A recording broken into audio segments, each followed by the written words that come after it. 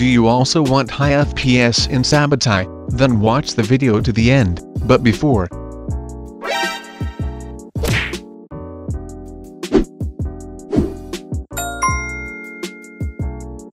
First you need to go here, you will find the link in the description, you need to be up to date with your Windows, so press here on update now.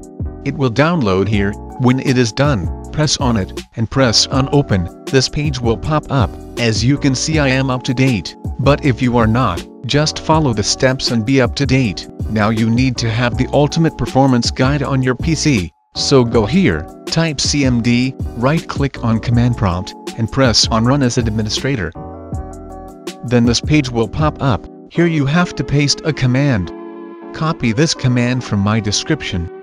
And just right click and paste it here, then press enter, and now you have the ultimate performance guide. But to activate it, you need to close the page, then go here, type choose, press on choose a power plan. Then you have to press on this arrow. Check ultimate performance, and now you have it activated. Go here, type graphics, press on graphics settings. Make sure you have this on. Restart your PC after. Then press here on browse. Search where you have your Steam folder, double click on it. Then go to Steam apps. Common. SABOTAJ. Engine. Binaries. Win64. And this is the right file you need to find. First right click on it, press on Properties. Here you have to go to Compatibility.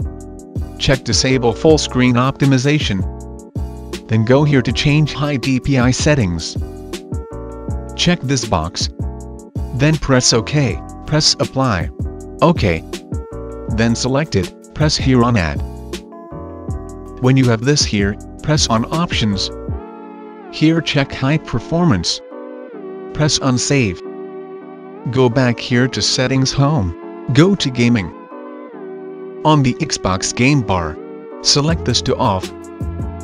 Then on the game mode, select this to on, for the optimization from graphic settings to work. Go here, type Run. Press Enter. Type Temp, press OK. The temp folder is Windows dump file location. Everything in this folder can be deleted and is not needed. Select everything from here and delete them. Then go here again, type percent %10%. Press OK. The same, delete everything from here. Go again here, type prefetch. Press OK.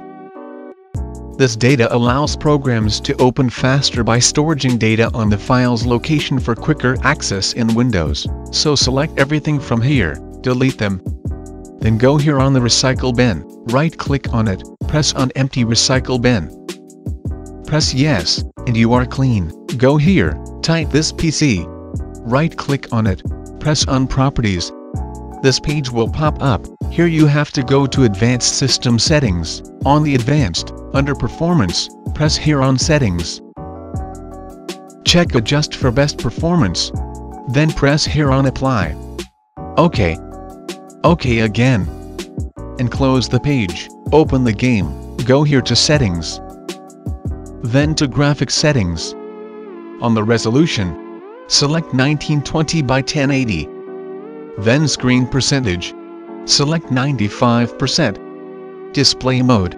Select Full Screen. FPS Limit. Select Unlimited. Brightness. Select 2.20. Texture Quality. Select Low.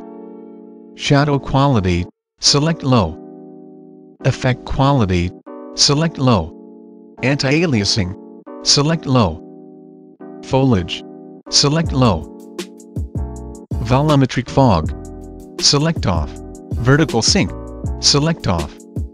Then press here on Save. And that's all you had to do. I hope you found this useful. Don't forget to subscribe. See you in the next episode. Bye.